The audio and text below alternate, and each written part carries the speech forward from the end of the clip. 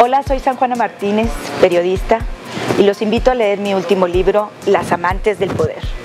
Un libro no apto para prejuiciosos, un libro, debo decirlo, políticamente incorrecto, pero necesario, que aborda los usos y abusos del poder público en la vida privada, de hombres poderosos contra sus parejas sus exparejas e incluso contra sus hijos. Empezando por Enrique Peña Nieto, siguiendo por Arturo Montiel, Góngora Pimentel, Sergio García Ramírez, Juan Iván Peña Neder, Aristóteles Sandoval, Luis Telles e incluso hemos incluido a una mujer para demostrar que los usos y abusos del poder mm, político en México no son exclusivos de los hombres, sino también de las mujeres. En el caso de Enrique Peña Nieto, tenemos pues un padre que es capaz de bajarle la pensión a su hijo de 200 mil pesos a 40 mil,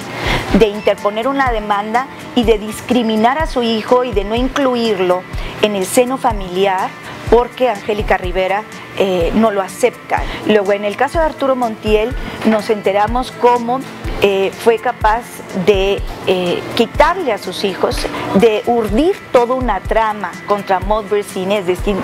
mandándole dos niñeras a Francia para cuidar a sus hijos, que en realidad eran unas espías, y la más difícil, yo creo que la más compleja, por el nivel de violencia y el grado eh, ideológico extremo es la de Talía Vázquez y Juan Iván Peña Neder. Este hombre inserto en el círculo de poder de Felipe Calderón y Gil Suart, a los pocos días que se casa con Talía, retira la imagen de la Virgen de Guadalupe que tenía en su habitación y Talía llega un día y encuentra en su lugar una fotografía de Hitler. Imagínate tú lo que tiene que ser eso. Y en ese momento le confiesa, es que yo soy nazi.